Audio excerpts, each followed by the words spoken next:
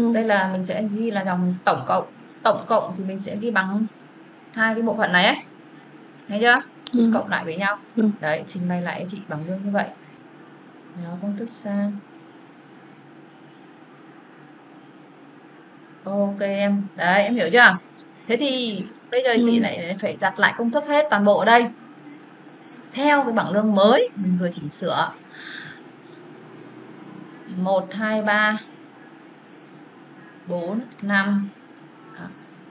bút toán thứ nhất là trích tiền bảo hiểm trả cho cán bộ công nhân viên nợ tài khoản 154 theo thông tư 133 được chưa còn theo thông tư 200 Ừ. thì sẽ là nợ tài khoản 622 nhá theo thông Ừ. tư 200 mở rộng kiến thức để hiểu thêm về thông tư 200 được chưa và thông tư Ừ. 200 thì đã- tất cả đều cho vào đầu 6 hết rồi cụ thể là nhân công của 62 cho nên là ở đây mình sẽ ghi là không chọn khoản mục chi phí bởi vì không cần nữa đúng không còn thông tư Ừ. 133 trên visa là phải chọn nhân công trực tiếp đúng không em giống như chị dạy Ừ. cho em là định khoản nợ tài khoản 133 kiểu gì cũng phải có khoản mục chi phí nếu không thì sẽ không lên được giá thành không tính được vào giá thành đâu nhá bây giờ nợ, nợ tài khoản 642 số tiền bao nhiêu mình chỉ đóng lại đây ấy Ừ. tổng cộng bằng lương ấy 12 triệu 380 lấy dòng tổng cộng mà dòng tổng cộng Ờ. bằng mức lương cơ bản cộng với tiền ăn ca cộng với tiền điện thoại ấy. tuy Ừ. nhiên này Ừ. chị nói cho em biết này rất nhiều bạn làm sai chỗ này nhá đó Ừ. khi em đóng bảo hiểm ở mức lương bao nhiêu thì cái lương thực tế của em ấy bằng luôn cái mức Ừ. lương cơ bản. Thì mức lương thực tế của Vâng. mình cũng phải ít nhất tối thiểu cũng phải là 11 triệu ba. Bằng luôn cho chị cái phù hợp là được. Ờ. trên lương đóng bảo hiểm xã hội nhá để chỉnh lại. Tất nhiên chỉnh cũng không ảnh hưởng gì đến giá thành cả chỉ ảnh hưởng đến 642 thôi. Đang được cao hơn tự nhiên mình làm cho nó thấp hơn làm gì? Bây giờ đây mình sẽ định khoản này.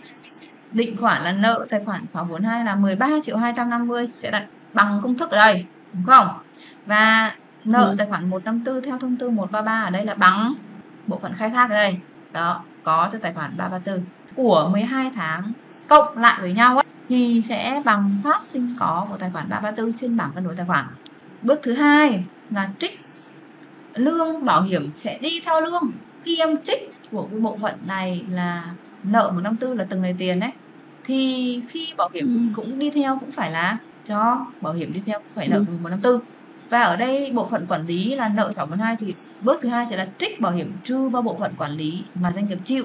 Thì nợ 6422 theo thông tư 133 có tài khoản 3383 có tài khoản 3384 có tài khoản 3385 tương ứng với số tiền là ở đâu? Bằng này.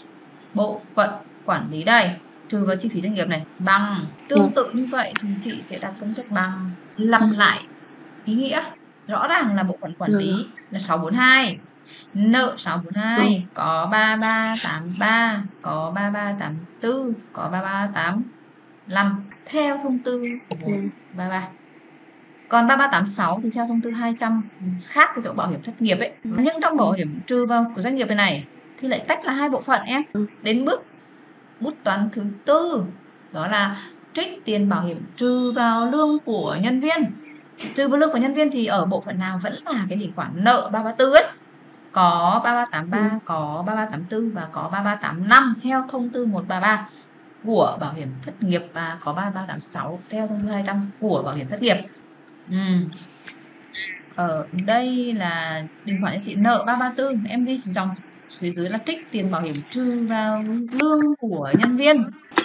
Nợ tài khoản 334 có tài khoản 3383, 3384 và có tài khoản 3385 Ừ, và số tiền tương ứng ấy thì mình đặt công thức ở đây. Một bước Ừ. nữa là bước chi lương cho nhân viên ấy đúng không? Chi lương của nhân viên thì Ừ. nợ ta tài khoản 334 có tài khoản 111 hoặc 112 thì chính là cái cột cuối cùng của bảng lương sau khi đặt công thức ấy phải không tuy nhiên để chứng minh có đúng hay không thì chị sẽ đặt ở bên cạnh này sẽ bằng bên có của 334 các khoản trừ vào lương của nhân viên. Bước một bước nữa này. À, chi chi lương này thì ok mình tự lập phiếu chi được. Còn riêng chi bảo hiểm này này thì mình phải căn Ừ. cứ trên đúng là C12 của mình ý là mình đang nộp tế một tháng là 5978 không không không và miễn sao khi em hạch toán xong rồi thì cuối cùng so ở cái C12 cuối cùng của tháng với cái hạch toán của mình nó có đúng hay Ừ. không ấy là được. Nhưng mà khi em hạch toán thì em hạch toán tách ra ấy 3383 3384 và 3385 khi em nộp một cái khoản tiền bảo hiểm này em phải cân đối cho chị này. Đến đoạn này là ok Ừ. rồi đây này nhưng đến đoạn chi bảo hiểm em phải làm hết tất cả các cái bước từ trên xuống dưới cho chị ấy. Như thế này lên phần mềm visa. Sau đó em mở bảng cân đối tài khoản ra đến tại thời điểm đó em xem là bên có của 3383 bên có của 3384 và bên có của 3385 ấy là bao nhiêu? Thì em sẽ ưu tiên triệt tiêu hết cho chị 3384 và 3385 đi. Còn lại bao nhiêu thừa thiếu ấy, thì em dồn vào 3383 chỉ ví dụ ở đây ở bảo hiểm xã hội này tổng hợp nhá. Tài khoản 3383 này tài khoản 3384 này và tài khoản 3385 nhé phải nộp của cái tháng 2 này tổng là bằng bao nhiêu? Cộng này. Bên có của 3383 của trừ vào lương của nhân viên cộng với bên có của bộ phận khai thác cộng với bên có của bộ phận doanh nghiệp. Còn lại các bút toán về phía trích mở. Trích ấy, thì em vào nghiệp vụ khác ấy để em làm. Cũng tương tự như cái phần cũ mà chị đã dạy thôi và em sửa lại xong Ừ. rồi em sẽ cộng lại cái tiền lương bên có của 334 ấy. Thì bằng tổng cộng tiền lương của 12 tháng cộng lại ấy, để cho nó khớp. Thì sau này mình còn giải trình về thuế nữa. Nợ 642 của 334 là phải tách ra. Đầu tiên là nợ 642 của 334 này. Xong thứ hai nợ 154 của 334 này. Nợ 154 của 334 thì phải chọn khoản mục chi phí liên quan đấy là nhân công trực tiếp này. Trong thứ đó là mới chỉ mỗi một nghiệp vụ thứ nhất nhá trích lương. Một là em cất đi rồi em thêm vào nghiệp vụ khác ấy cho nó dễ nhìn. Trừ vào lương uh, chi phí của doanh nghiệp gạch ngang bộ phận quản lý nợ 642 có 3383 642 có 3384 642 có 3385 đây dòng ba dòng tiếp theo là nợ 154 có 338 ấy. Cái này cũng sẽ chọn khoản mục chi phí là nhân công trực tiếp bảo hiểm và lương phải đi theo nhau. Rồi lại dòng Ừ. thứ tư lại nợ 334 lại có 3383 84 85 số tiền lại tương ứng. Thì em có thể cho tách nó ra mỗi một cái là một nghiệp vụ. Còn em làm quen rồi thì tất cả đều nhồi vào ấy một nghiệp vụ chứng từ nghiệp vụ khác ấy một nợ và nhiều có thôi. Làm vào đây hết. Chị làm cụ thể luôn nhá. Bỏ ghi chia ra như chị em mình vừa mới làm mà. Rồi dòng thứ hai là đây lại sẽ là nợ cho tài khoản nào? 154 có 334 số tiền tương ứng là 9950 Ừ.